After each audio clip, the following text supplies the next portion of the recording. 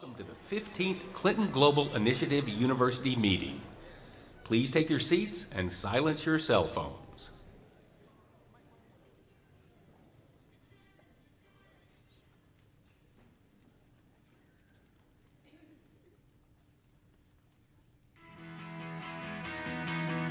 We are so proud and excited that CGI University will be coming back in person at Vanderbilt University.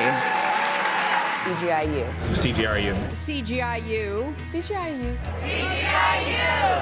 I think I should spend the rest of my life trying to give other people the same set of life chances that I had. This program has created more and more opportunities to not only make a commitment, but to meet others and to figure out what you can do to make a difference. You all have one big thing in common, and that's the desire to make the world a better place. You all refuse to accept the status quo.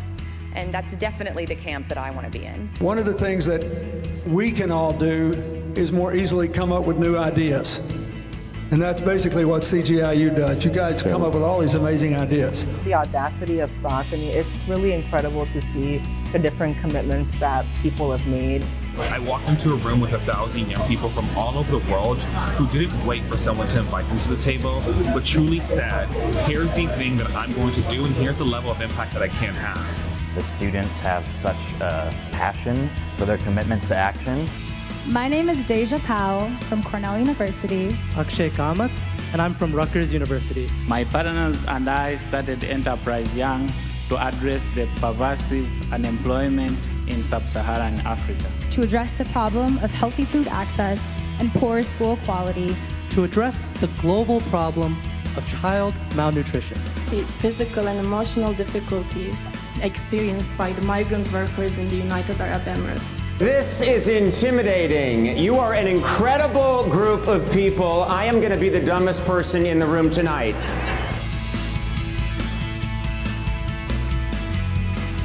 That definitely deserves a round of applause. Thank you.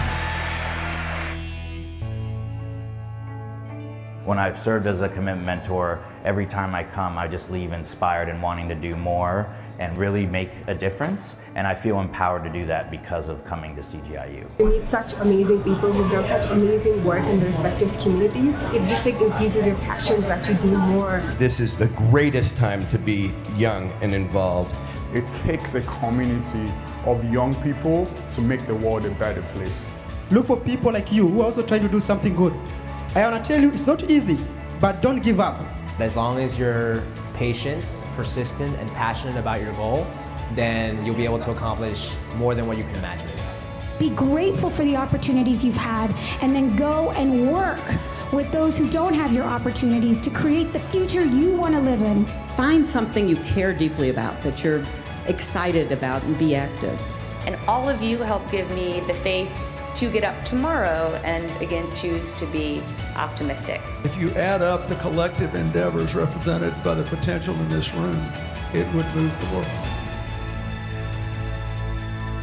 Please welcome the Chancellor of Vanderbilt University, Daniel Diermeier.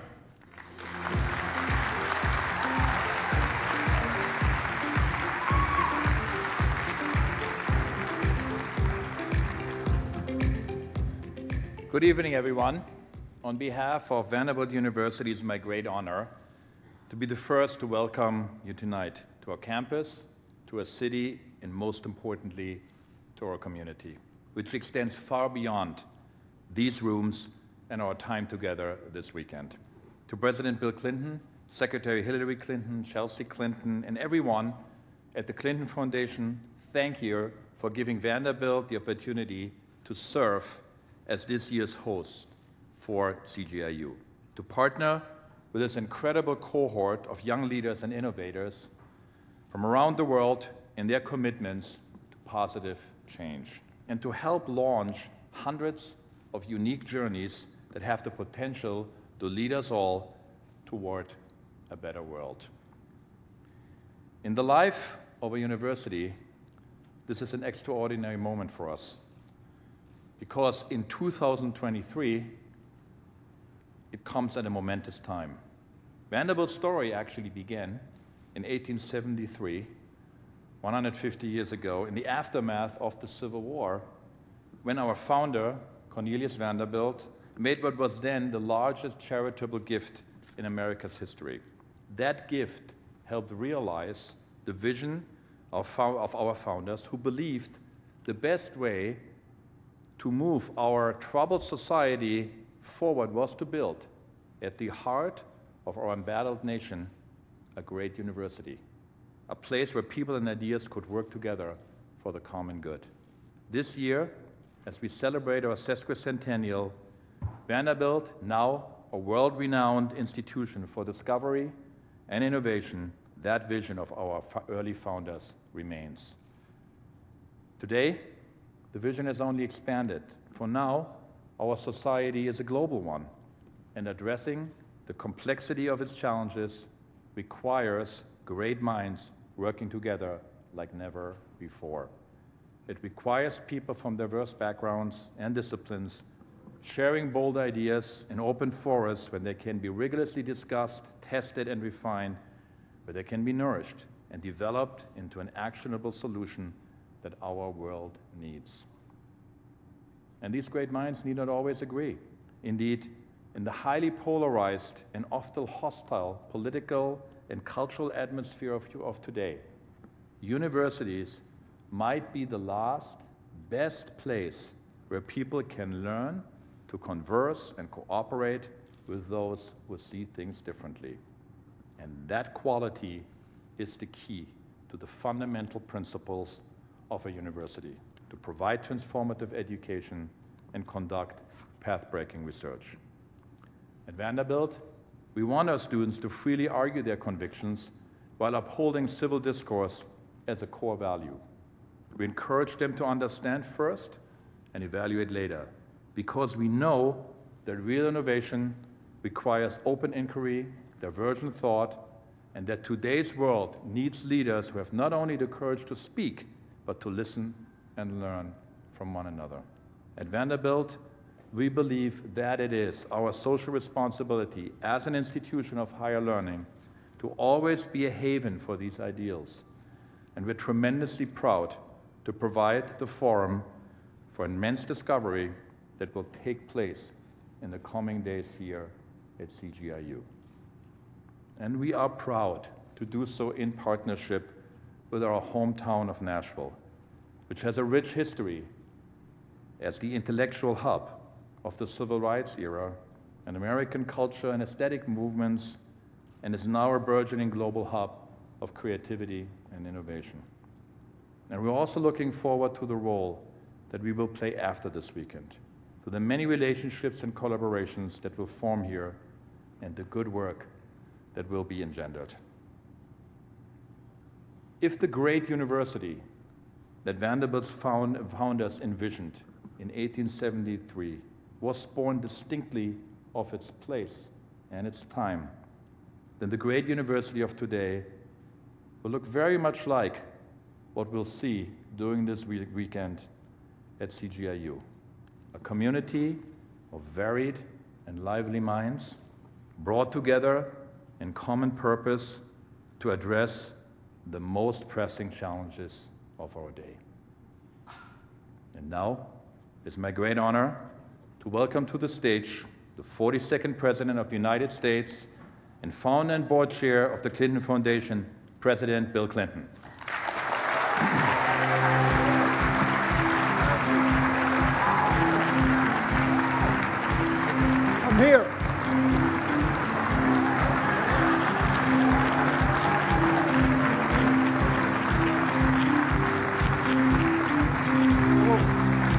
Thank you.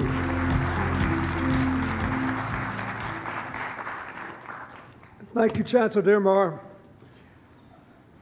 That was a very fine set of remarks, and I, I'm very grateful that Vanderbilt is hosting us. This is the first time since 2018 when we've been able to meet in person because of the COVID epidemic, and uh, I think it's fitting because the last place we held an in person CGIU was at the University of Chicago when Chancellor Diermeier was the provost there. so when I'm trying to get up a meeting, I just try to figure out where he is, and he's on over there. I also want to say uh, to all of you who are here how grateful I am. And uh, there are about 150 more of you who I hope will be here tomorrow. So tonight, after we do all these things, we were going to take a big picture of, a, you know, kind of a class photo. But I think it'll be a bummer if, for the 150 that are trying to get here through the weather, and so I, I checked at the weather, and they said, we think everybody will be here tomorrow, so don't leave yet. We got to take our picture tomorrow. The theme of this year's CGIU is homecoming, strengthening community leadership and action.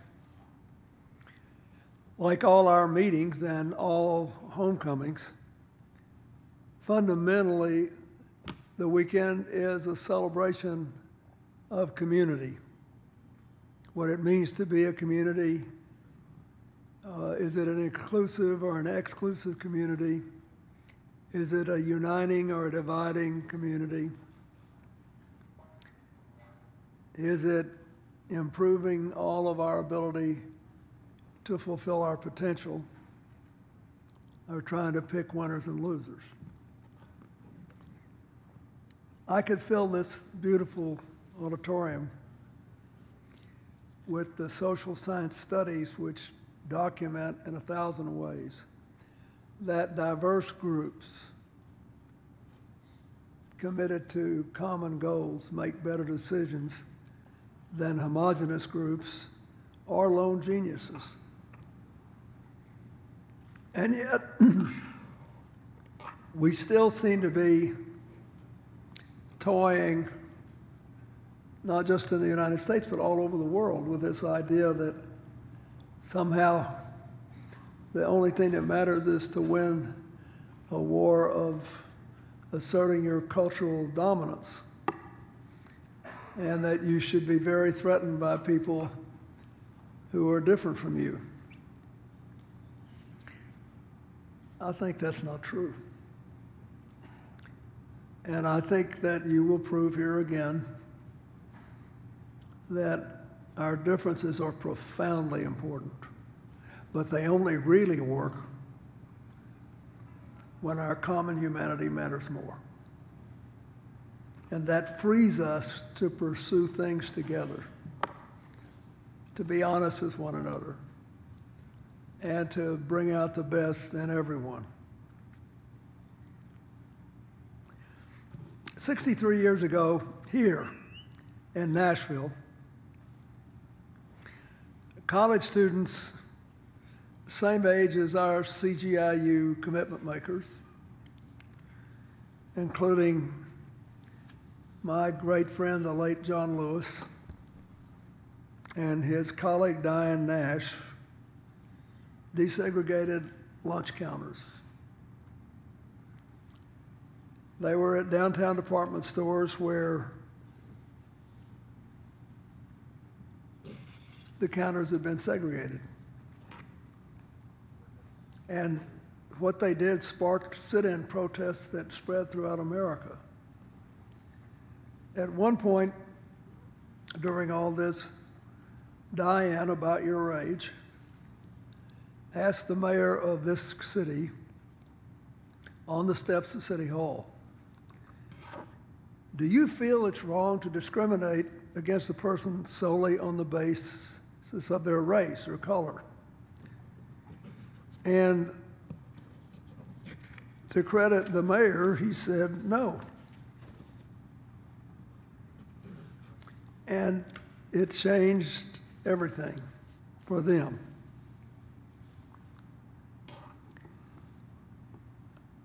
Today, we celebrate a community in CGI almost defined by its diversity. We have people here from all over the world. We have people from hundreds of countries and hundreds of universities.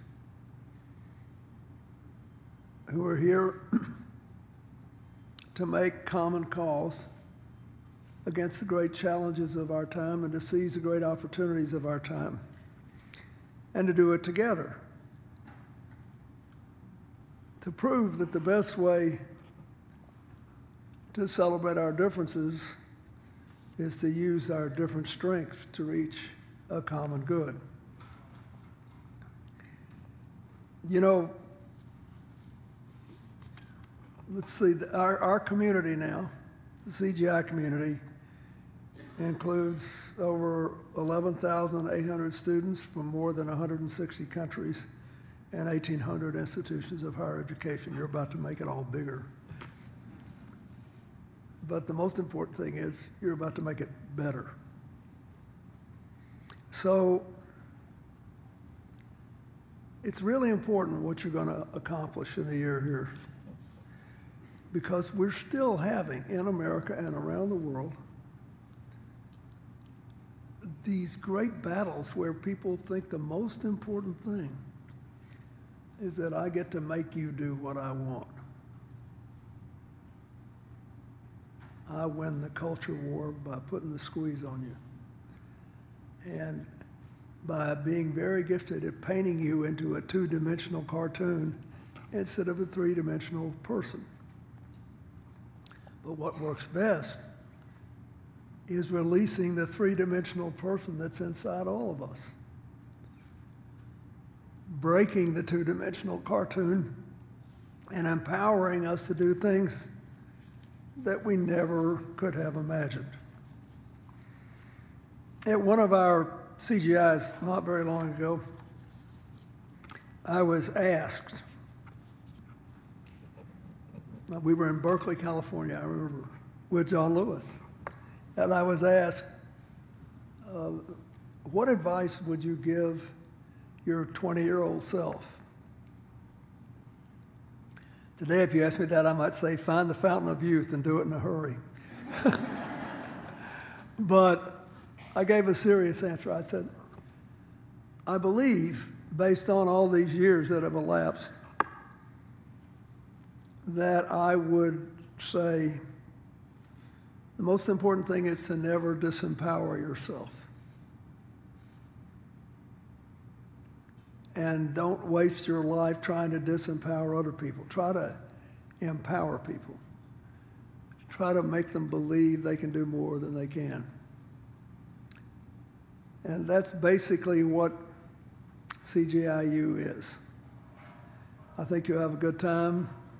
I hope you do. And I think you'll meet friends that you'll keep a long time.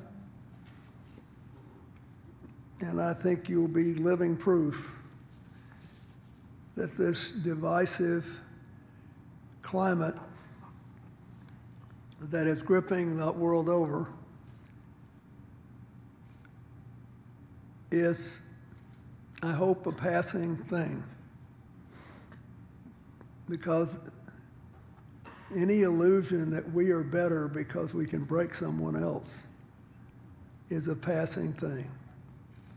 Any illusion that we can make our future better or our children's future better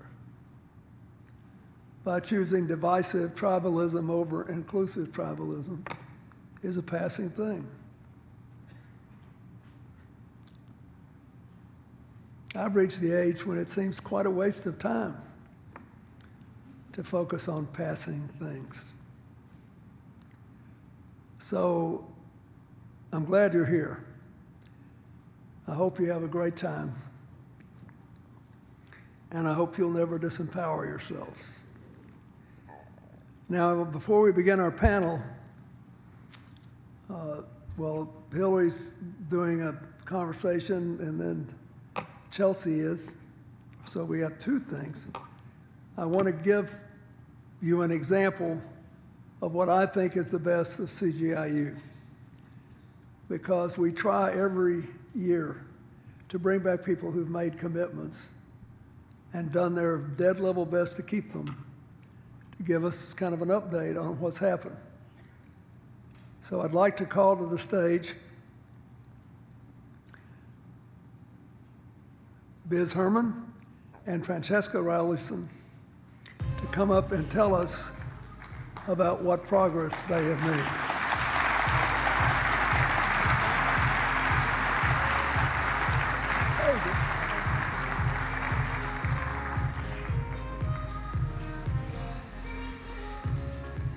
Hi, everyone. My name is Biz Herman, and I was part of the first CGIU class all the way back in 2008. I thank you. I remember well that inaugural meeting at Tulane University and the feeling of excitement that I had to be a part of this new initiative that CGI had to bring together college students like yourselves to come up with innovative solutions to global problems. At the time, I was an undergrad at Tufts University, where I was working with my CGIU partners on issues of social discord um, around youth violence in Boston. And so our CGIU commitment sought to build awareness and civic engagement uh, using photography, documentary filmmaking, and public discourse on issues of social violence in Boston. Being part of CGIU and this global network of commitment makers has had a profound impact on my personal and my professional growth. The people that I've met, the resources that I've had access to, and the mutual sense of meaning and purpose have had a profound impact on my work to this day. Since then, I've earned my doctorate in political science, and I'm now a postdoctoral fellow at Perry World House at the University of Pennsylvania. I've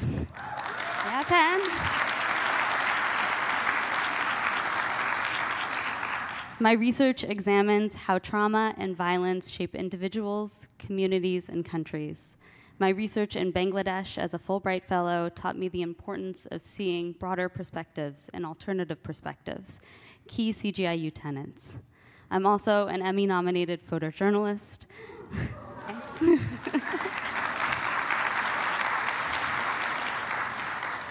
My interest in the complexities of human rights and peace have driven my passion for human centered research, storytelling, and visual journalism. I just can't tell you, both my research and my photojournalism work have been a direct outgrowth of my CGIU commitment 15 years ago. 15 years ago.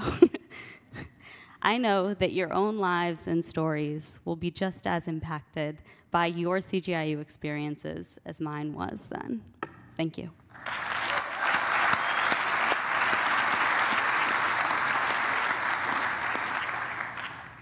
Hello, everyone, and uh, Manaona from Madagascar.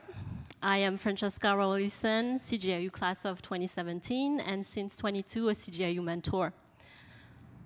I realized when I first came to college in the United States that growing up, I was a um, victim of emotional abuse, but I didn't know it. In Madagascar, there's roughly 80% of children who experience some form of abuse, from yelling, name calling, diminishing of self worth, invalidation of emotions. And the impact on people's dignity, self esteem, and mental health is just incalculable. And when I shared my personal journey, the video went viral. And that's when I realized that I was not alone and that emotional abuse is an invisible global pandemic that we don't talk about. So my CGIU commitment in 2017 sought to break that intergenerational cycle of trauma by providing children and young adults with the emotional tools so that they can um, uh, look out for and combat abu abuse at its root and mainly build healthier relationships. Today, Umena, which is my commitment, is a global youth-led movement that is breaking the cycle through community and uh, school um, training, prevent preventative uh, social emotional education, and community support. Breaking the cycle means happier, healthier, and uh, thriving children, families, and communities. And with our 250 ambassadors that are working all around the world, and I know that they are watching right now. Together, we've been able to um, engage with over 1,500 students. We worked with 20 organizations, and through our online campaign of awareness, we reached over 1 million people. And our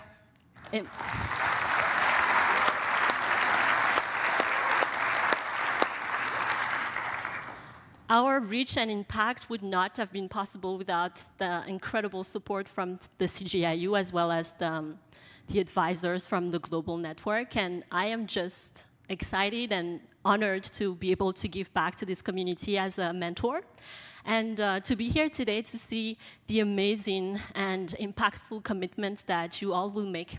Thank you.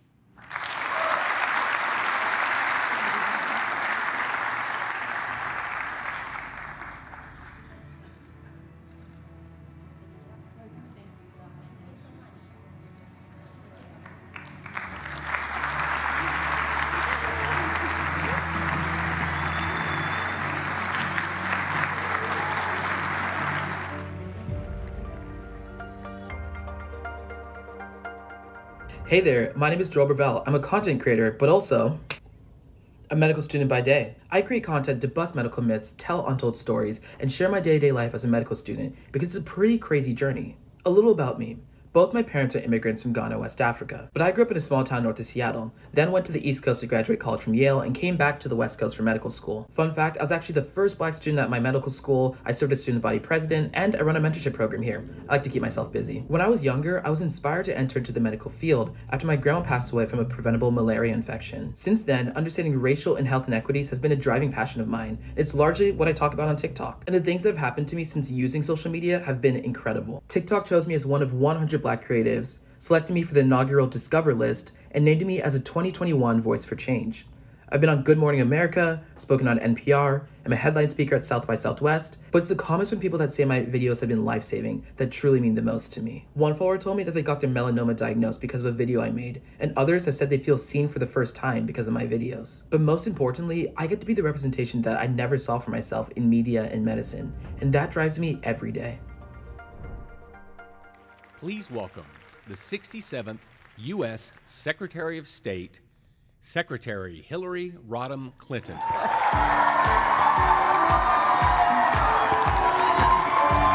Hello! Hello, everybody! Well, thank you all so much. Thank you. I cannot tell you how happy I am to be here for a million reasons, most of which is to have gotten out of the air, to be on somewhat solid ground. Uh, we have a lot of, um, of the CGIU participants literally driving, rescheduling their flights, trying to get here. I think uh, Bill mentioned like over 150. So it is great to kick off this CGIU uh, and to listen to some of those who have participated in years past with the commitments that they have made. And it's a special pleasure to be here at Vanderbilt. Um, this is such a great university, and I am expressing gratitude to the administration, to the staff, to the faculty, and to the students of Vanderbilt who are hosting us this weekend. So let's give Vanderbilt a big round of applause.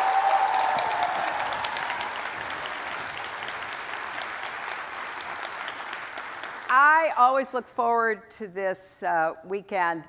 As you've heard, we haven't met in person since 2018. Uh, we did continue over Zoom, which was okay, but not as great as it could have been because people couldn't be together, which is, I think, the magic of uh, CGIU, meeting people. And we can once again gather in person to talk about some of these tough challenges. For your information, we have about uh, 787 students, 338 universities represented, 92 countries, and 42 states. So, and we're going to be talking about everything from climate change and health equity to education uh, to reproductive rights, um, all of the ideas and passions that you bring uh, to CGIU. And I can't wait to hear uh, about your perspectives and ideas. But right now, I have an enormous pleasure uh, because our first uh, uh, spotlight speaker is someone I've gotten to know and admire and really uh, and proud of. So please join me in welcoming my good friend, uh, Transportation Secretary Pete Buttigieg.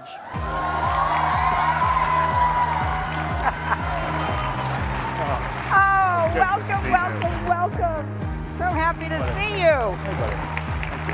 Happy to, so happy to see you. Same here. Yeah, I, I mean, this is an amazing group. I, I know you've been uh, briefed um, about where they come from and who they are, and these are your kind of people, Pete. These are people who like to get things done and make a difference. And let's start off with the fact that you were elected mayor of South Bend, Indiana, at the age of 29, uh, just a few years older than most of the audience here.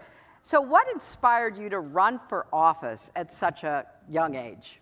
Well, uh, first of all, thanks for having me. This is a great honor. I've, I've really been looking forward to it. And, and, you're right, I got to know a, a, few of the students on the way out here, and uh, uh I'm, I'm, so excited about what they're up to. Um, so I come from South Bend, Indiana, which is best known for, for the University of Notre Dame being there, but it's actually an industrial city. It was built around the Studebaker Auto Company. It was a company town for a company that stopped existing in the 1960s. And even though that happened decades before I was born, I grew up still in the shadow of that. The city was still kind of picking its way out of that, lost tens of thousands of people, and wasn't quite sure what it was going to be. Right around the time I entered the race for mayor, there was a, a national story about American so called dying cities, and we were one of them. And the article about all the reasons that our city was supposedly dying focused on the fact that there were a lot of statistics showing young people were leaving at a troubling rate because of a perceived lack of opportunity. And so I saw that not only was my hometown that I cared about struggling, but that struggle, it turned out, specifically had to do with the, the presence or, or the loss of young people. And I thought, well, I'm young. I care about this city. and, and, I started getting together with some of my old friends who, like me, had assumed that success meant, meant leaving, but would come back together around Thanksgiving or, or holidays or, or whatever the occasion, get together over a drink and say, you know, what's going on? What would it take for our city to come back? And somewhere along the line in those conversations, the light bulb went off that, that anytime you find yourself repeatedly using sentences that begin with, why don't they? Why don't they? Right. Why don't they stop thinking Studebaker's going to come back? Why don't they bring some life to downtown? Why, why don't they reanimate the, the, the, the, the social life of this city? You start thinking, why don't I? Why don't we? right? we, right. we could do something about that. Right. And, and we did, and it worked. Yeah. That was the amazing thing. I, we, we had no idea when I, when I set out to run for mayor that, that we would succeed. I was up against uh, much better known names in, in local politics. But I also found that, that an older generation of people, I think, really sympathized with a, a wave of young people who said that we wanted to shape the trajectory of our city differently. And I'm very proud to say that that team we put together over the course of, of that eight years that I was mayor, really did create what, what I would call the comeback decade mm. of our city, changed the trajectory on everything from population to economics, and uh, just built my faith in, in what people can, can do when you get together and, and say, why don't I?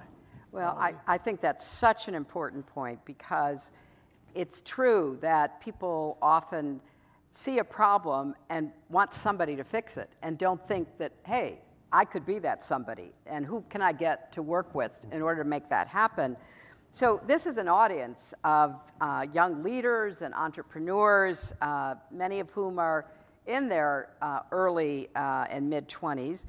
And when we think about the issues that they're uh, confronting uh, today, do you still have that same sense of optimism that if people decide that they can get together and find common cause and work on a problem, that something good can happen because there's a lot of discouragement out there. Yeah. You know, there's a lot of people who are kind of overwhelmed by the steady barrage of bad stories and scapegoating and finger pointing. So, how do you think about this time, which is a little more challenging uh, for people to find their place? There's no question the, the level of negativity and, and the mechanisms that exist to create a, a, a, an amplification of that negativity uh, are, I think, in, in, in certain ways unprecedented, in other ways, probably par for the course when you're trying to do big things. But they, they have collided over the heads of, I think, the generation now with the most at stake.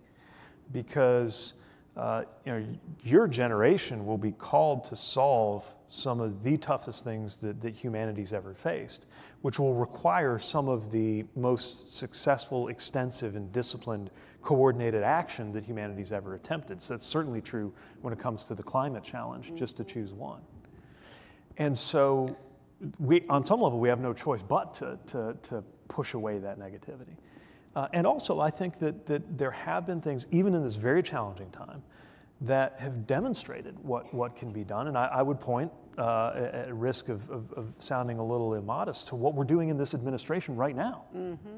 I mean, in two years, uh, the, the most, some of the most significant industrial policy of, uh, of, of the post war era, um, an infrastructure bill that obviously I'm very proud to, to be working on and excited about uh, that's, that's putting the, the most investment into uh, things from, from highways and, and, and bridges to, to, ports and airports since, since the Eisenhower years. Um, these things are being achieved not just by uh, President Biden, though I'm very proud to, to be working under his leadership, not just by our administration, though I'm proud to be part of it, not just by elected officials, but by a country that has in fact managed to coalesce into certain majorities, not just congressional majorities, but national majorities to get some of this big stuff done. Uh, I, I, was just, just today, I was in Glendale, uh, Kentucky, uh, a couple hours from here. At a, uh, oh, somebody knows Glendale. All right, nice. So you know how, how your home is, is going to be transformed by, by this uh, facility uh, creating electric batteries or for batteries for electric vehicles. thousands of jobs. And uh, there are thousands of jobs right now just building this thing. Uh, I mean, it is enormous, millions of square feet. And then, of course, there'll be thousands of good paying jobs doing the actual work. The very same kind of good paying jobs that propelled the arrival of, of my hometown 100 years ago and, and put so many people into the middle class. And nobody there was talking about the politics of EVs, and, and, nobody was talking about red and blue. The local officials, I think most of them were probably Republican. I don't know, it didn't come up. Mm-hmm. And so these, the, these things are possible even in this moment, which is good news because they're important, especially in this moment. Yeah. Well, I know a little bit about uh, receiving criticism and backlash, just a little, um, and how often uh, partisanship gets in the way of, you know, doing what needs to be done, or even telling the real story about mm. what is happening. And look, there's been a lot of misinformation and confusion about this terrible uh, derailment in East Palestine, uh, Ohio. And, and, you know, I, because I was in the Senate for eight years and follow a lot of this, I kind of know what really happened, but uh, that doesn't uh, help when there's an alternative narrative that uh, is really trying to uh, create problems instead of solve the real uh, challenges. Can you tell us a bit about who does what when there is a derailment uh, like this and how we can prevent that from happening and you know really what's going on now. Yeah uh, so uh, just a few days ago i was in east palestine ohio and, and it's a community of people who through no fault of their own have had their lives turned upside down by this, this terrible situation. A train derailed. Uh, it was uh, carrying a number of hazardous materials, uh, some of which uh, had to be burned off in order to prevent explosions that would have been even more devastating. And they're asking questions Is my home safe? Is the air safe? Is the water safe? Is the soil safe? And uh, what hasn't come through in some of the media narratives is that uh, there was a federal response from the first hours uh, not just my department that was on the ground, but uh, importantly, uh, the EPA, which really takes the lead on things like holding Norfolk Southern accountable for this cleanup and the testing that, that's needed. Um, and, uh, and more recently, FEMA and, and, other agencies. When you have a disaster like that, the, the uh, National Transportation Safety Board comes in. NTSB is independent from my department for a very good reason, which is they need uh, an independent way to look and make recommendations on everything that could have been different, what the company could have done differently, but also what the government could have done differently so we can make better policies. Our role uh, includes the policy framework for making sure these things don't happen again. And so what, what I found on the ground was uh, not only the need to, to make sure that these residents are getting their questions answered and getting the support they deserve, but also we've got to honor them and every community that sits along a railway line. And, and so many of you may have found uh, where you live, you look at those tank cars a little bit differently when they move uh, on a train through your, your hometown or your neighborhood after what happened, uh, to make sure we're raising the bar uh, on, on railway safety, which is not an easy thing to do because, Right. frankly, there's a very powerful lobby that has been very effective at e- even watering down some of the things that were put in over, over the years. But I also think there's a moment here uh, because there will be a, a very clear moment of truth among people who have uh, gotten involved and gotten on television to talk about this issue. Uh, that will demonstrate, I think, whether they are prepared to honor the people of East Palestine or whether they were just there to use them. Right. Because we're about to move forward on a lot of reforms. Yep. Uh, some things we were working on the whole time, other things there's new energy to do more with around uh, a higher standard for the strength of those tank cars so that they're less likely to, to puncture or, or, or be damaged. Uh, around the, um, the accountability for railroad companies, which sometimes pay uh, legal maximum of a six-figure fine, which doesn't mean much to a multi-billion dollar company. We could change some of that. Uh, some of it we're doing on our own, but some of it requires Congress to help us change. So this is a put up or shut up moment for a lot of people Yeah. who were part of, of, of the conversation. And I will say, to their credit, I've seen people on both sides of the aisle working on this issue. Right. Uh, I'm, I'm, I'm ready to work with them to get real things done. And the rest is politics. And you know, one thing I'm, I'm not going to do is, is uh, complain about any frustration associated with coming to an agency and having work to do every day and finding that you're, uh, you're dealing sometimes with a noise machine that seems to have little to do with your day-to-day work and a lot to do with perceptions about your uh, real or perceived role in presidential politics. I, it would be very indecent of me to complain of that sitting next to you. uh, so uh, the, the real important thing is just what can we get done? Well, I think that's exactly the right attitude uh, to take. I do think, uh, and I've appreciated uh, your uh, setting the record straight and firing back at some of the disinformation, because in this fast moving information ecosystem, uh, people hear things and, and it's kind of here today, gone in a minute, and, and they don't know what to believe. There's so much uh, room for confusion. So I think it's important to stay focused on the job, but also, when appropriate, to respond. And you're, uh, you're excellent at doing that. You know, when you read about your uh, biography, your accomplishments, um, you're often described as a trailblazer. Uh, you are the first uh, openly gay cabinet member. You're the youngest. Um,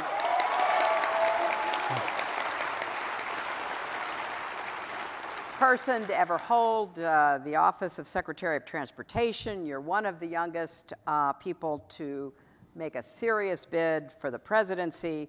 So there's uh, no doubt that um, along the way, being the first often requires knocking down some barriers, some misconceptions. You know, what message do you want to convey to our CGIU students about uh, forging your own path, being true to yourself, because you went through a lot of soul searching, and you know you were in uh, the uh, army, you served in Afghanistan, uh, uh, you were incredibly successful uh, as a student. You were a Rhodes Scholar, but then you also had to come to grips with who you actually were and how you wanted to live your life, and it was courageous, um, and yet it's also a good reminder that as we sit here in this beautiful auditorium at this great university, there are millions of people around the world grappling with some of the very same issues and questions you did. Yeah, I mean, again, I'm, I'm humbled to have a word like trailblazer used when I'm sitting next to you and knowing all the cracks you put in that glass ceiling. Um, and, uh, uh, um, but I am mindful of, of how things changed for me when, when I was able to, to come forward and, and, and realize that, that it was time to, to um, be who I was and let the consequences be what they might. Uh, what happened was um, I uh, was deployed to Afghanistan. Uh, for the record, I should say it was a Navy reservist, but uh, they were having me doing Army stuff. Yeah. Um, kind of how it works sometimes in the military. And uh, I was, one of the things you do when you go on a deployment is you sit down and you write a letter, just in case. And I was writing that letter. I was already a sitting mayor at the time and, and had a great life, a, a great house, and great friends and, and meaningful work. Um, but as I was going through that process of writing the letter that, that my loved ones might have to open if I didn't come back, um, one of the things I had to think about was that at that age, I had no idea what it was like to be in love.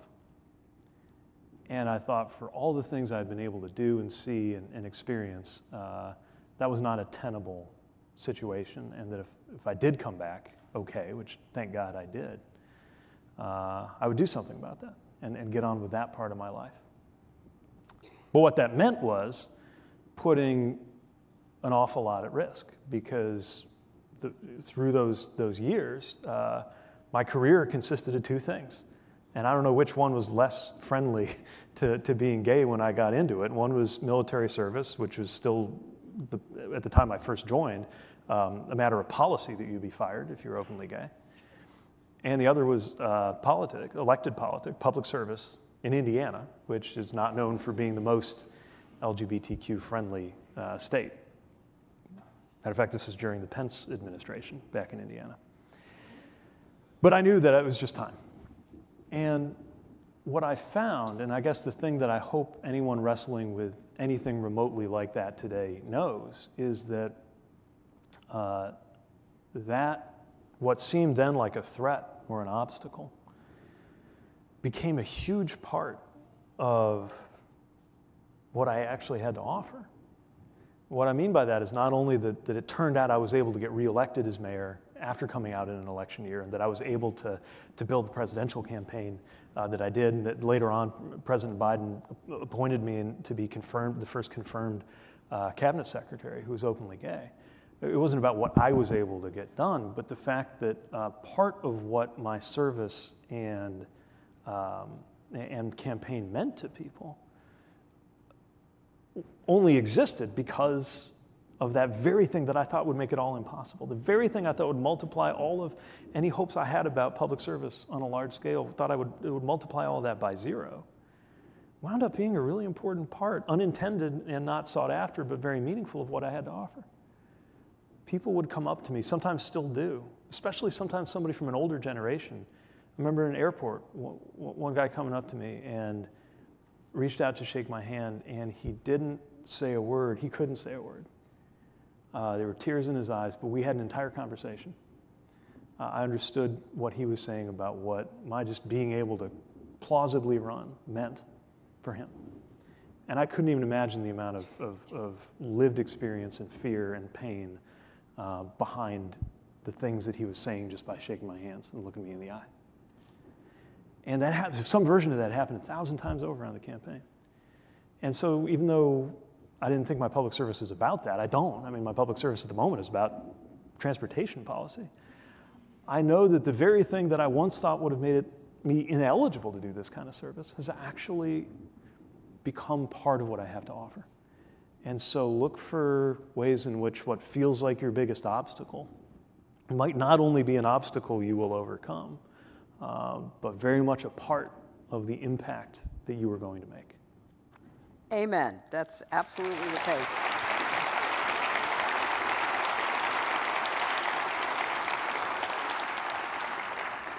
You know, we have students from all over the world, and they're here because they want to be change makers. Uh, they want to be trailblazers. They want to make a difference, uh, solving problems, uh, both personally and professionally, and in many cases, even politically. Uh, so when I think about uh, what they are going to be going through in the years ahead, um, as, a, as a leader, uh, what excites you to get up in the morning and get to work? And what is the biggest worry that you have mm. uh, about our country and the world uh, in terms of the challenges that we face? Hmm. Um, well, usually, the thing getting me up in the morning now is uh, our toddlers uh, who uh, have no respect for our desire or need for sleep. Um, but also, of course, in a grander sense, that propels you. I mean, we, you know, we, we have uh, twin 18 uh, month olds, and, and that really makes you take the future more seriously than ever. Um, what I'm really propelled by is a knowledge that we're in this moment, kind of both of the halves of your question, actually, the, the opportunity in front of us. Uh, the reason I, I, believe, for all the challenges we're dealing with in, in, transportation right now, this is the best job in the federal government, which is that we're, we're, we're building the future. Like, literally, building what America's future is going to look like, and with that, building livelihoods and building American competitiveness and American success uh, and contributing, I think, to the world's success in, in confronting global challenges like climate. Um, but also the, the, ferocious challenges that, that do face us. Um, this divisiveness that has made it so difficult to get even manifestly good things done. And also in our country, I think, the very real risk of stasis in our political institutions. The most elegant feature of the Constitution is that it contains the capacity to revise itself, the amendment process, which has been used on average about once a decade over the history of our country, but hasn't really been touched in a meaningful way in half a century. And I use that as just one example of the, the need for our country to be ready to refresh itself in terms of our institutions, in terms of our toolkit for making policy, for making law, and for, for meeting the moment. Because the moment is like nothing we've seen before. Again, whether it's in my particular slice of it, the transportation portfolio, and everything that, that, that we are about to face from uh, I, I, keep mentioning the climate challenge, but technological developments like artificial intelligence, whose implications for transportation we are only just beginning to understand um, all the way through to the geostrategic concerns that, that, that I think shape the way the US uh, interacts with the rest of the world. Um, it is going to require us to have a level of imagination that I'm not sure even now we, we, we, we fully acknowledge or admit or recognize. Uh, and so much will depend on whether we do, because I, I think that it will be decided largely in this very decade whether we successfully meet those challenges or whether we get to the middle of the century and uh, instead of my kids kind of being small enough to, uh, uh, to, to, sit in our lap and, and, try to read Goodnight Moon, they'll be sitting across the table uh, over a meal saying, Dad, wh- why didn't you do more? Mm-hmm. Why, why didn't you capture that moment? That's what really yeah. keeps yeah. me going. Well, I think that's a, a really um, important point because young people have so much power, and a lot of it is unused. Mm. Uh, there's a lot of things going on in your life in your late teens, your early 20s, you know, many distractions, all kinds of, you know, worries and wonders about your own life and the path forward.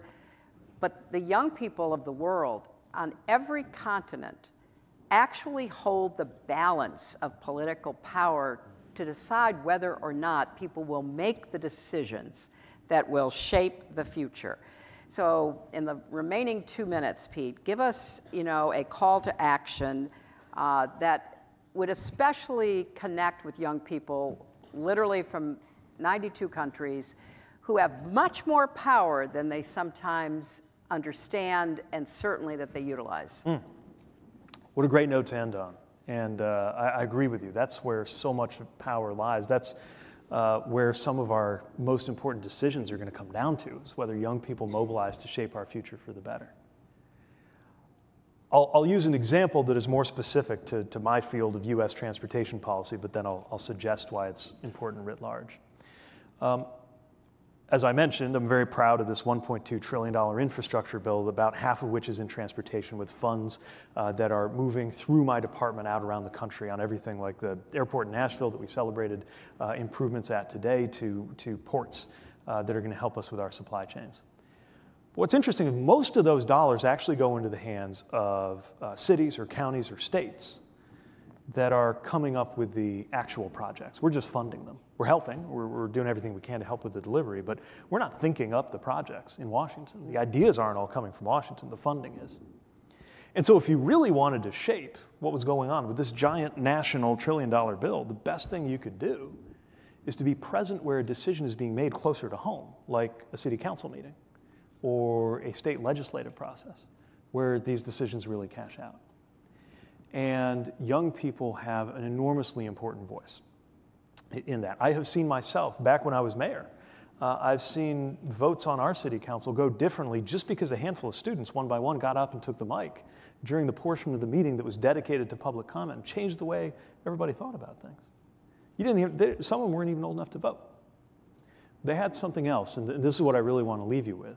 Whether you were at a planning board meeting in a community near you, weighing in on an infrastructure project, or participating in an educational, the governance of an educational institution through a, a student body, uh, and, and you're in a, uh, any country in the world, there is a level of moral authority that you have uh, that is an enormous advantage in being heard. I know all the reasons you're conscious of the disadvantages of being heard or trying to be heard that come with being young and trying to be taken seriously.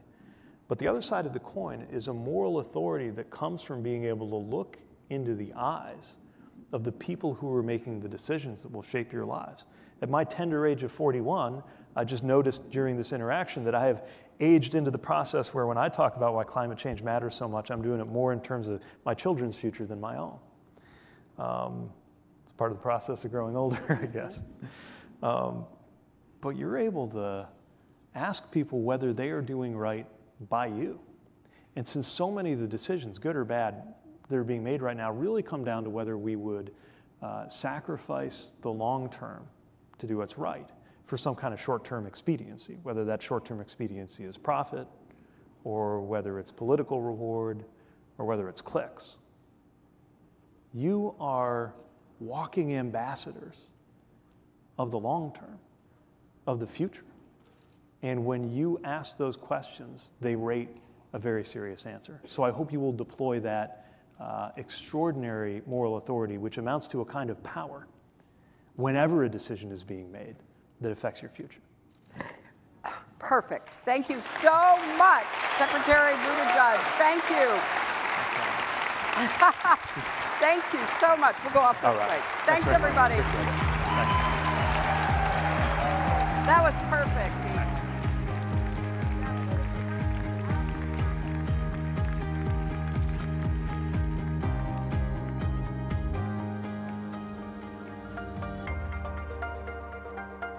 Hi, I'm Alex Tarzakan, human rights lawyer, refugee rights advocate, founder of the Meet a Refugee Instagram page, and CGIU commitment mentor.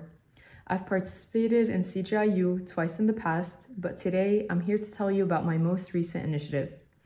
I'm from Aleppo, Syria, a country that has come back in the headlines.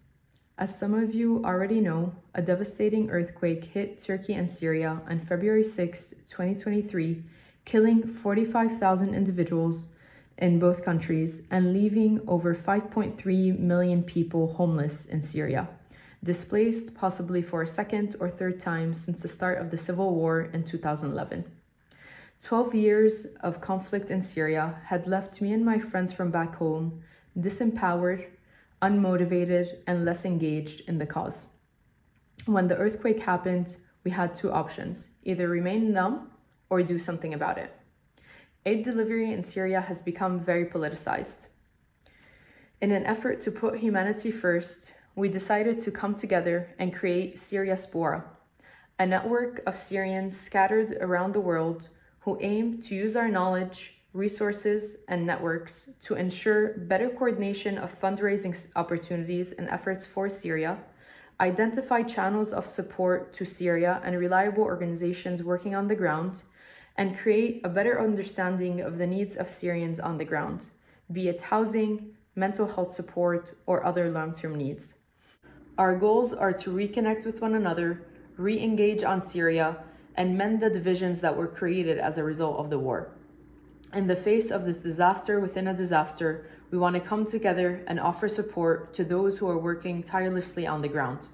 We invite you to join our movement as the earthquake is a powerful reminder of how natural disasters can affect anyone, anywhere. Help us offer support to those who need our help the most.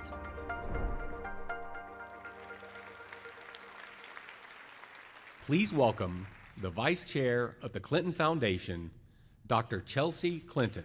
Um, thank you all so much for that um, very warm and enthusiastic uh, welcome. I want to echo uh, my parents' gratitude to Vanderbilt and particularly to all the students here who are welcoming our CGIU uh, community with so much uh, enthusiasm and hospitality. Thank you. Um, there's been lots of discussion about uh, all of the wind um, and how it's affected already, as you chuckle, uh, your experiences here. And I just uh, want to take a moment to also thank all of the public health and safety officers, the first responders, um, everyone who ensured the airport could reopen safely. Uh, that the debris was cleared up, everyone who works with the sanitation department. Can we please give uh, all of the people I mentioned and those I didn't a big round of applause for helping us uh, be together safely today? I'm really uh, excited about our next conversation, and so I just want to. Uh, hopefully, not too awkwardly, segue into it and ask our extraordinary panelists to join me on stage. So first, uh, could we please have Olivia Julianna, the Director of Politics and Government Affairs, G Gen Z for Change. And yeah, oh yeah, please feel free to applaud for each of them individually. They certainly deserve it oh gosh, they're coming out in a different order than I had on my card. So first, actually, we have Jordan Reeves, the co-founder of Design With Us, and then we have Olivia. Next, we have Sukhmeet Singh Sachal, who's a medical student, a CGIU 21 alum, a health activist, social entrepreneur, and founder of Sikh Health Foundation. And certainly, uh, last but not least, uh, we have um, Georgina Pazcoguin, author, ballerina uh, with New York City Ballet. So thank you all for being with us.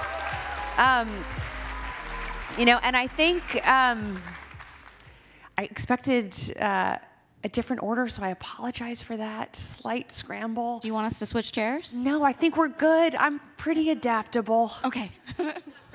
you know, my life may have had some upheaval in it at different points in time. So, uh, kind of uh, resilience and uh, changeability are uh, well, uh, well-worn life skills. Um, but Jordan, since you are sitting next to me, you know, I'll start uh, with you.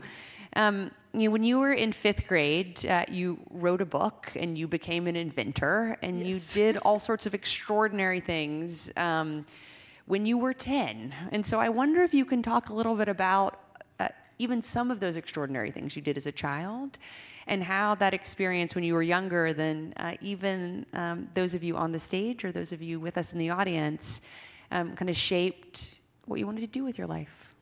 Um, I think my whole career in design and just speaking my mind on what I believe in started in a very humble way. I invented a prosthetic arm because if you have not noticed, I have one hand. Wow. and um, I was taking this difference that I have and creating off of it, and I didn't expect anything. I created a prosthetic arm that shoots glitter. Very 10 year old of me. Still like glitter, it's great.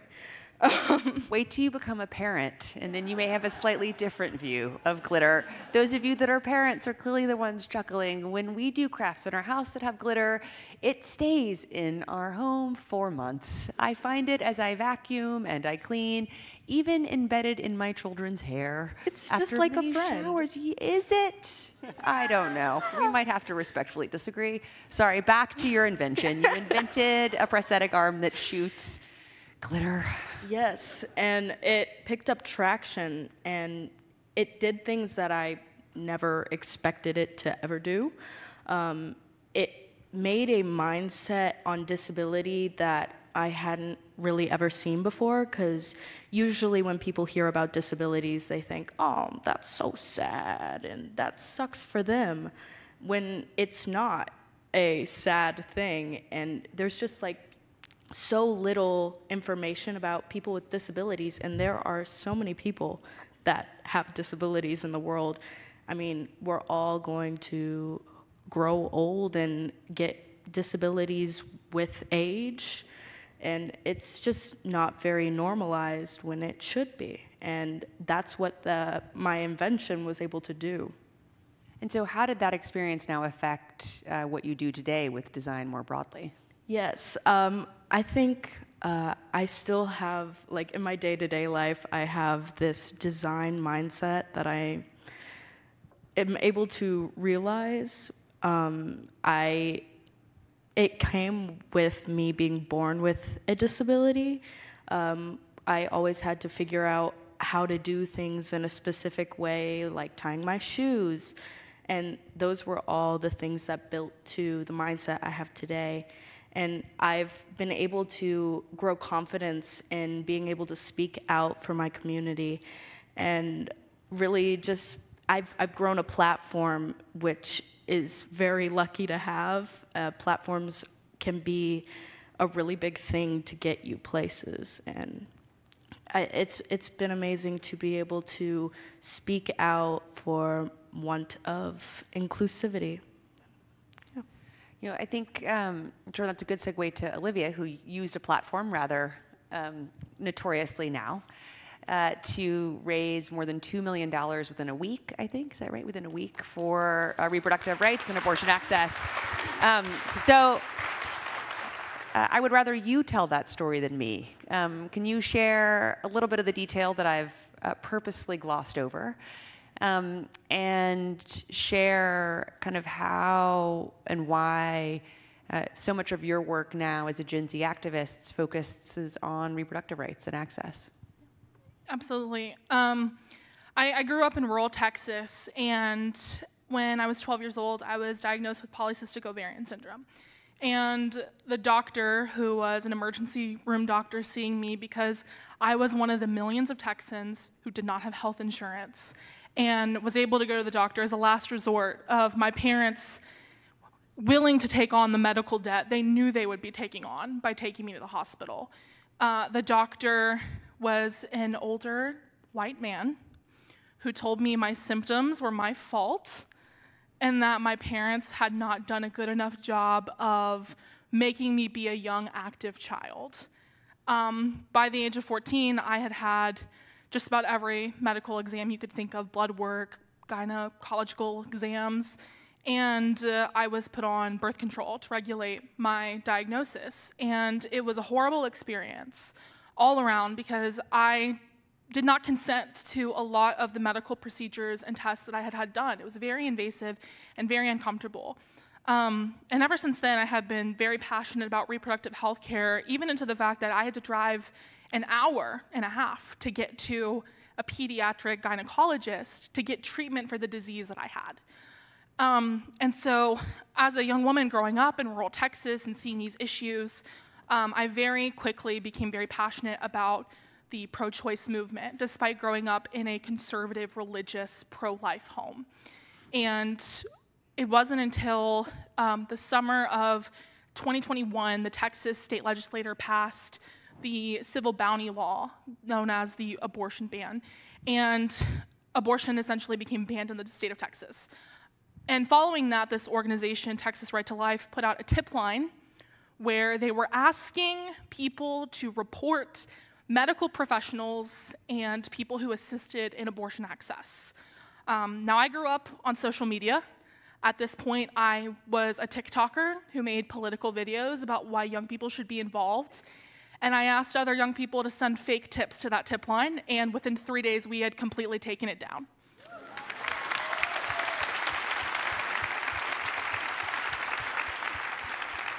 And so from there, I had been embraced by the reproductive justice community, and I became an abortion rights activist in a post Roe Texas. But the reality is, Texas had been post Roe for a very long time.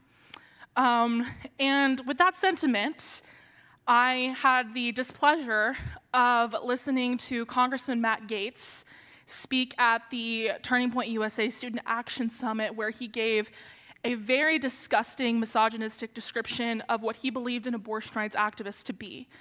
Um, and I responded publicly. I said, I'm not 5'2, I'm actually 5'11, 6'4 in heels, so I can remind small men like you of their place. And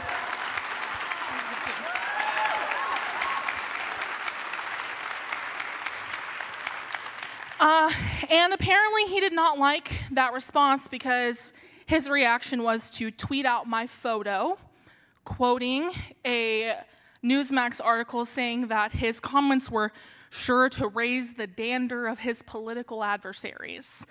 And he tweeted my photo with the caption, Dander Raised, in an attempt to have his 1.4 million followers body shame a 19 year old girl on social media. Unfortunately for him, he picked the wrong one.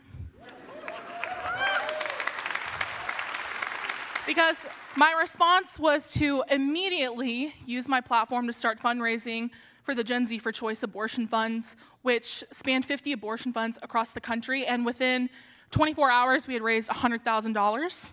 And I sent him a thank you card on Twitter. I, I signed it off. I said, get wrecked. And then it went from 100,000 to 500,000 to a million dollars. We had a million dollars in three days. And there was this media frenzy of TV appearances and press appearances, and in 24 hours, we raised an additional million dollars. And to this day, we raised over $2.3 million. Um, and the very fun conclusion to the Matt Gaetz story is that I recently attended the State of the Union as an invited guest of Congresswoman Nanette Barragán, and I actually came face to face with Matt Gaetz backstage. And I called him over, and he walked over, very much not knowing who I was at the moment. And I put my hand out, and he grabbed my hand and shook my hand, and I said, I just wanted to say thank you for helping me raise $2 million for abortion funds. To which he quickly dropped my hand and said, Heard you had trouble spending it, and started walking down the hallway, where I yelled at him, Pretty sure I have more integrity than you do. As members of Congress, including Senator Warnock, got to see me yell at Matt Gaetz as he walked away. Well, I have a feeling that actually may not be the conclusion of the story, so I look forward to the next chapter. Um, and Sukhmeet, I, I want to turn to you now um, to talk about a different challenge of access. I know, you know in the early days of the COVID-19 pandemic, you, know, you really focused on ensuring there was kind of good information and then later you know, vaccines to the indigenous and native communities you know, in, in Canada, where you're from. I wonder if you could share kind of why that became kind of your motivating kind of purpose and way to engage and serve you know, during, uh, during the kind of early days in the depths of the COVID 19 pandemic. And, you know, similar question how has that experience now shaped kind of where you plan to go in the future? Thank you so much, first of all, for having me here. I was one of the people in the audience a few years ago, and so it's a huge honor to be here today. I just want to say following up conversations like this, you know, it's important to have conversations that are open, honest, and really get people involved. And so when COVID first started, I noticed a lot of the world was really not paying attention to the indigenous populations, despite the fact COVID rates were the highest in indigenous communities. And so I knew that I had to do something about it. And so I kid you not, one day I was on Facebook and I met this wonderful person, Victor, who's a medical student at Harvard. We don't know each other from before. I just saw him and I'm like, hey, I love the work that you do for Indigenous communities. I would love to see if we can collaborate and do something. And so we started something called Translations for Our Nations. Now, this is something that became quite rapid and really helped get a lot of Indigenous peoples access to COVID 19 information that they needed. And within a month, we had over 50 translators from around the world who were indigenous. and we helped reach over 250,000 indigenous peoples around the world with this COVID 19 information. Now, this information, thank you. This information was all in indigenous languages. And I think that is what we're missing in today's society in healthcare. Now, being a medical student right now, I remember when COVID first started, I was a first year medical student, and now I'll be graduating in within, I think, a month or so from medical school. So the time has just flew by. But in these four years, what I learned was that it's so important for us to have culturally effective information out there so that when someone goes to their doctor, someone goes to their surgeon, they have the resources to help these individuals understand them from the cultural context, from their physical health, from their emotional health, from their spiritual health. So that way we can really allow for holistic health. And you know, you asked my plans for the future. So March 22nd, I find out where I match. So uh, hopefully good news there, but you know, I am applying for plastic and reconstructive surgery. And this is something that is very difficult to get into in Canada. There's only about 24 spots. And Canada already has very limited seats for individuals. And so for someone who looks like me as well, there's not been a single person in Canada who looks like me who will be a plastic surgeon. So that's what I want to do, and that's what I want to change. Um, you know, speaking of change, uh, Georgina, I know you have um, given an enormous amount of your you know time, energy, talent, kind of grit to changing the face and the understanding of what ballet is. Um, and I'm sure that that commitment is partly kind of why you're known as the rogue ballerina. Can you talk a little bit about um, kind of when you decided that your ballet career wasn't just going to be kind of you dancing on the stage, but needed to have kind of even more of a purpose, uh, and where the rogue ballerina moniker comes from? Um, of course I can, and thank you for having me. I just need to send this out there that I would rather be doing a full-length show, 32 fouettes on the stage, than speaking. I'm very scared of crowds, um, but I'm here. And um, the Rogue Ballerina, my moniker, I am so fortunate to be able to get to do what I love for a living. I want to acknowledge that privilege. And it was through this, um, I never was made aware of how different I was and how I did not fit into any boxes. You look at me, I'm not what you think of as the quintessential idea of a classical ballerina. Um, and I was made aware by every, almost every single teacher, especially when I got into the, the, New York City Ballet. All of a sudden, I was being told, you know, your body's not thin enough. You have the wrong body type. You have the wrong demeanor. You have the wrong ambition. You should be quiet. You should be um, demure. And I was really struggling to fit in, and this was very odd because I was at the top of my game at the School of American Ballet. I had risen through the ranks. I got this amazing apprenticeship, that, living this dream job. And all of a sudden, this dream became this huge challenge for me. I did not fit in. And all, I, so all of a sudden, I looked around, and I was the only person that looked like me. I'm mixed race, Filipino American. And I woke up one morning when I had the first inklings of uh, telling my story. And I was like, you know what? I'm going to embrace me. I'm going to take all of these attributes that are being told to me that are wrong and will be strikes against my character and maybe not even allow me to excel in this chosen career. And I'm going to embrace them and I'm going to embrace them as the thing that sets me apart. And thus, the rogue ballerina was born. We think about the word rogue in a negative connotation, but to me, rogue means embracing what is different, embracing not being the norm, and taking it from there. You know,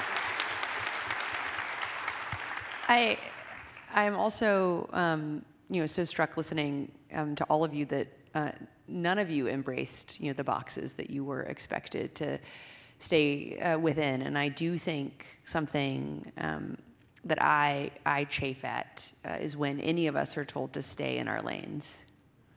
I'm like, when did you get to decide what lane I belong in? Except if I'm driving, you can tell me to stay in my lane. But otherwise, um, like otherwise, no. So Jordan, I wonder, you know, again, starting with you, um, how has the disability rights kind of movement changed uh, since you uh, courageously, although maybe since you were in fifth grade, um, where as I have a, a girl who will soon be there, uh, I don't think, thankfully, she's scared of anything yet. And I think one of my roles as a parent is to try to keep that fearlessness alive for her and her brothers. Um, you know, I'm curious though, you know, from then till now, how has the movement changed? What else do you think needs to change? And what do you want from everyone here? Not just what do you want them to know, but what do you want from them? Um, I I grew up. Um, I wasn't quite aware, and I don't think anyone a- around me was aware, other than like my brother's friends, that I was different. And when that realization came to me, because my parents never treated me any different, as they should. and um, when I realized that I was treated differently than others, I wanted to prove them wrong. So I did every activity possible. I did piano, I did ballet.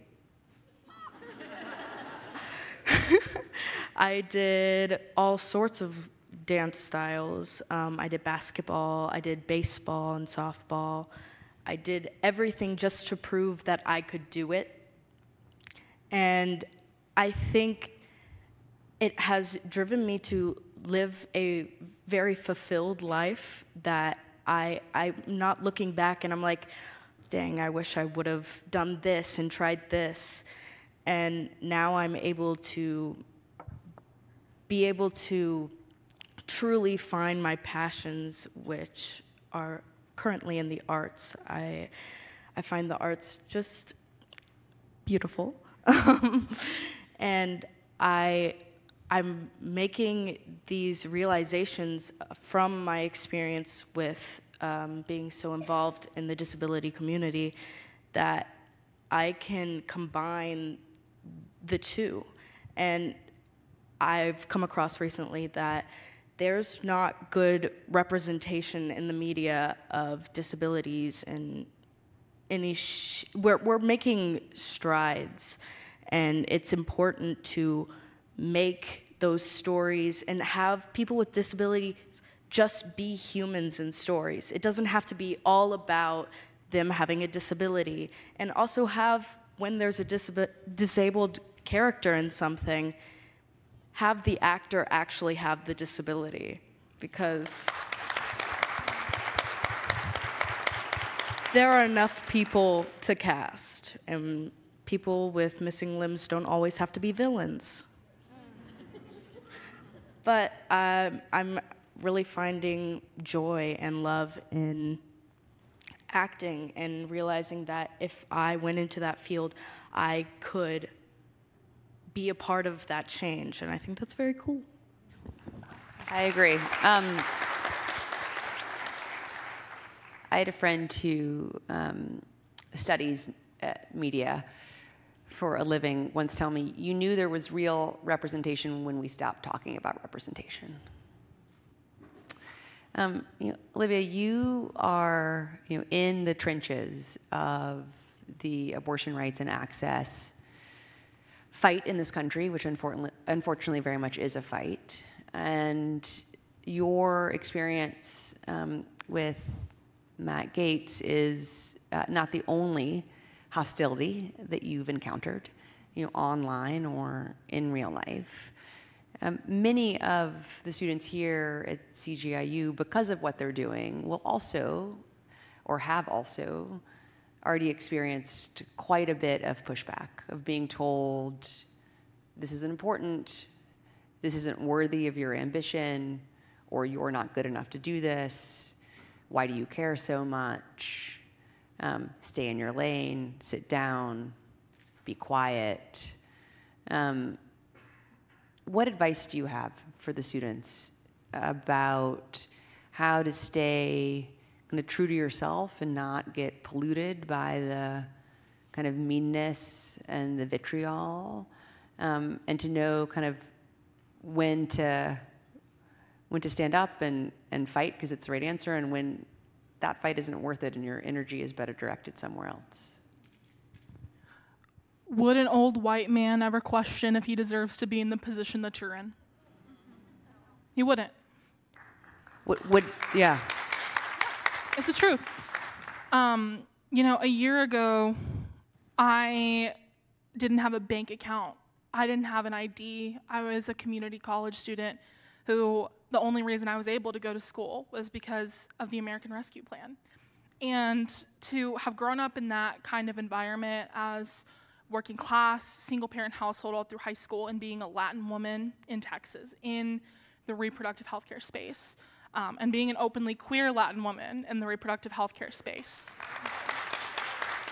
Um, I, I started getting death threats when I was 17, just being totally honest. And to this day, I still get attacks, not only on me, but you know, my my my sisters have had to go to their children's school to say, if people come here asking for my kids, don't give them to them because this is what my this is my sister and this is what she does.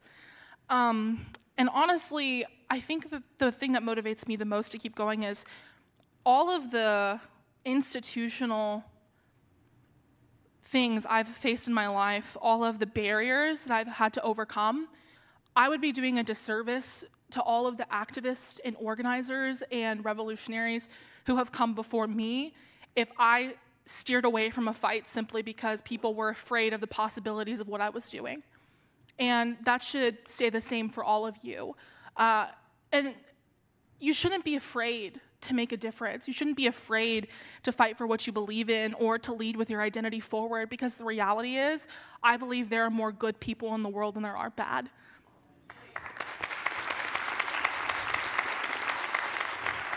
And what you're doing, the projects you're doing, the initiatives you're leading, you could help more people than you could ever imagine. But if you give up because other people don't want you to live your truth or live your dream, then you're doing a disservice not just to the people who have come before you, but to the people who will potentially have to face those barriers after because you decided to give up. And I think that we owe it to the people of the past and the next generation of leaders to help pave the way for them and not just be complicit in systems of oppression or barriers that are in place right now. Um, yeah. Sukhmeet, you, you talked about being in the audience a few years ago. Um, I wonder if you could kind of share um, your experience having been a CGIU student and kind of what being part of this community has meant to you um, and what you would want anyone here uh, to know about about your journey over the last few years come from from there to here. Yeah, so I was in the virtual audience, so you guys are lucky that you get to be in person, so I'm jealous. But when I joined the CGIU community, I was one of 38 people who received the COVID 19 grant. And this funding literally changed my life. I was able to implement projects within my local community, the Sikh community in Surrey, BC, Canada. And this project went on to help over 250,000 people. Just that initial funding. And now, when I wanted to start this project when COVID started, a lot of people were looking at me side eyed, like, they're like, this is not going to work. You know, you want to go into Sikh houses of worship, you want to go into religious places, and you want to educate people about COVID in their own language. Like, that sounds crazy to them. And I'm just like, okay, wait and watch. No one gave me funding initially. And then when CGIU selected me as one of 38 people and one of two Canadians, it totally changed the project. I had now enough funding to help protect my volunteers, recruit over 150 volunteers uh, to make this project happen. I had people from across Canada reaching out to me, being like, how can I get involved? I even had people in the US reach out, being like, this is such a cool model.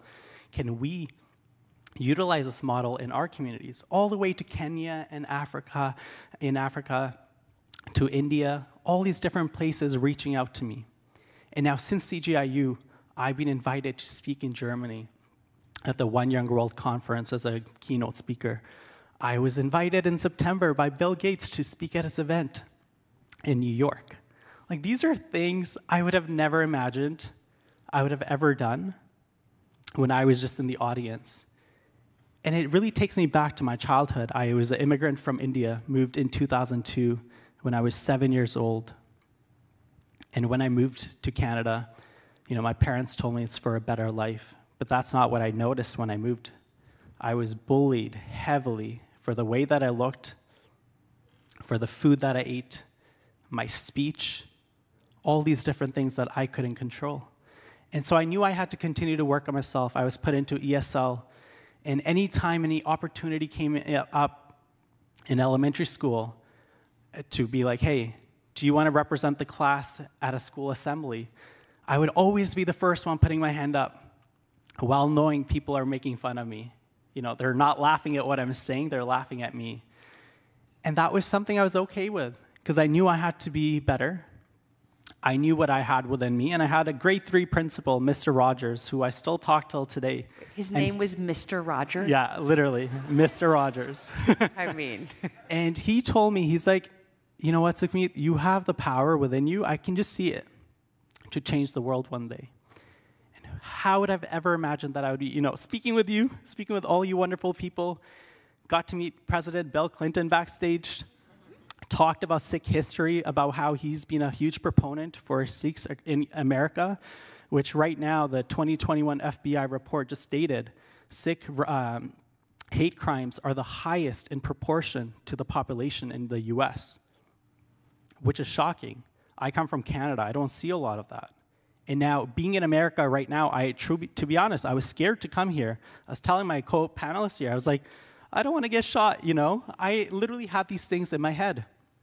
But being on stages like this, being represented, I hope that, you know, other youth out there that look like me, whether you wear a turban or not, whether you wear a hijab or not, whether you wear a kippah or not, you are important, you matter. Don't let anyone ever say no to you. And if you ever need someone to back you up, I'm always in your corner. Oh, Sukhmeet, thank you. Um,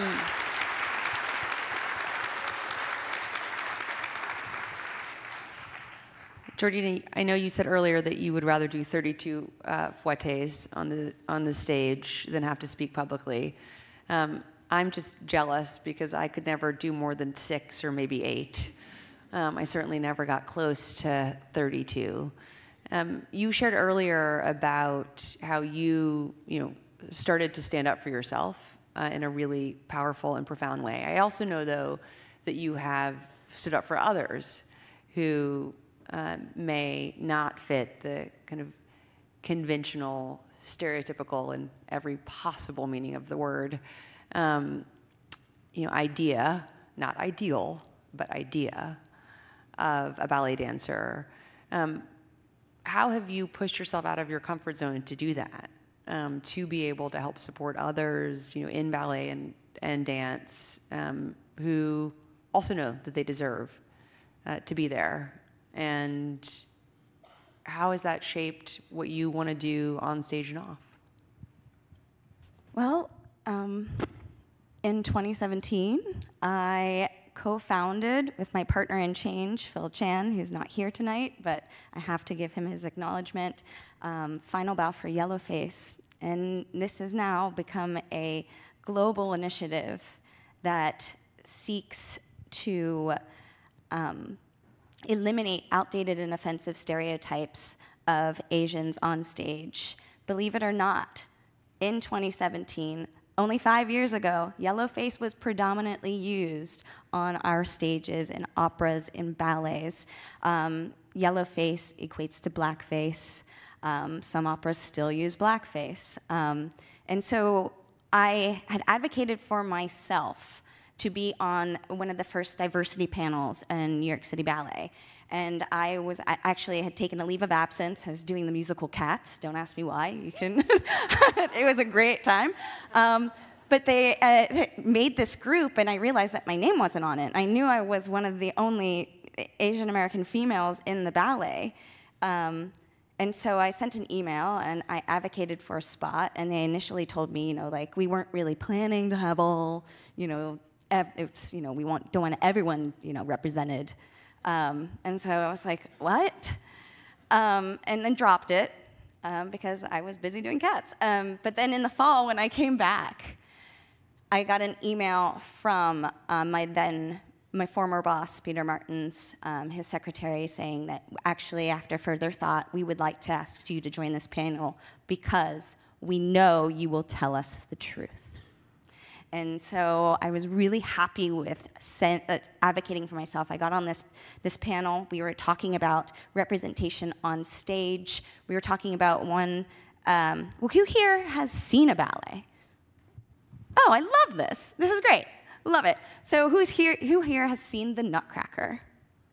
Excellent. So uh, for those who haven't, the second act is basically a tour around the world. And there was one specific divertissement in the second act of Nutcracker, the Chinese divertissement, that was so offensive in its portrayal of Asian culture. I mean, at City Ballet, and I myself have been guilty of doing yellowface. Um, I, when I was you know 18 i was cast in this role and it's principal casting and i'm in this company already feeling like i don't belong and then all of a sudden i'm on i'm out as a featured dancer and i didn't have the wherewithal on myself to speak up how how awkward i was feeling being dressed as a, essentially an asian woman but wearing it's a chinese divertissement a geisha japanese wig and then the, the lead male gets rolled out in a box. He's T, we get it, T comes out of a box. Um, and he is portrayed as this every every divertissement in the Nutcracker comes from some sort of nobility, except for the Chinese principal. He comes out with a rice paddy hat and a Fu Manchu, complete with queue hairstyle, which was imposed violently during the, the Qing dynasty.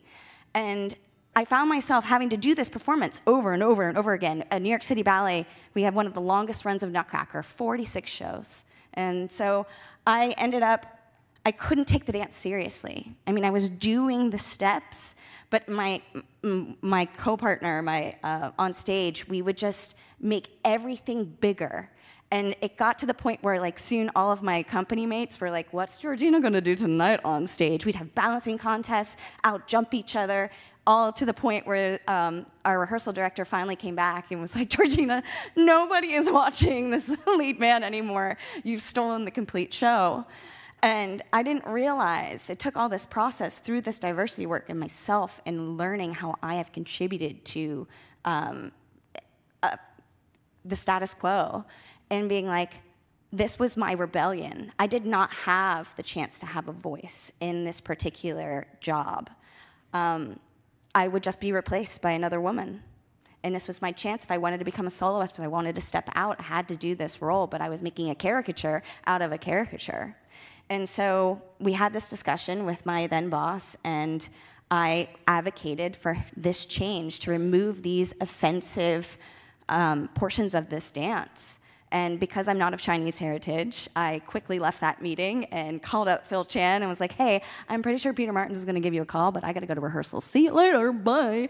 Uh, and sure enough, to Peter's credit, and I do have to give him credit there, he removed the offensive wigs. Now the lead gentleman wears a nobleman's hat that is much more fair and just appropriate and correct representation of Asian heritage. It's no longer a Chinese monolith. It is very much specific to Chinese culture. And at that moment, you know, I was suffering from a major injury, so I wasn't dancing. I went and watched the show, and I was just teared up and was sobbing.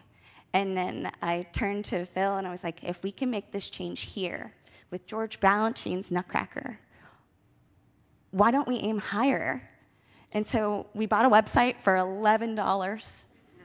We created a pledge and we did grassroots efforts through our connected network and we reached out saying like we, we want to inspire conversations about how you represent your cultures in your nutcracker ballet and now it's become a globally known initiative i mean the paris opera ballet in 2021 cited Final Bow for Yellowface as its deciding contributing factor to eliminate its use of blackface and yellowface, not only on its ballet stages, but on its opera stages as well.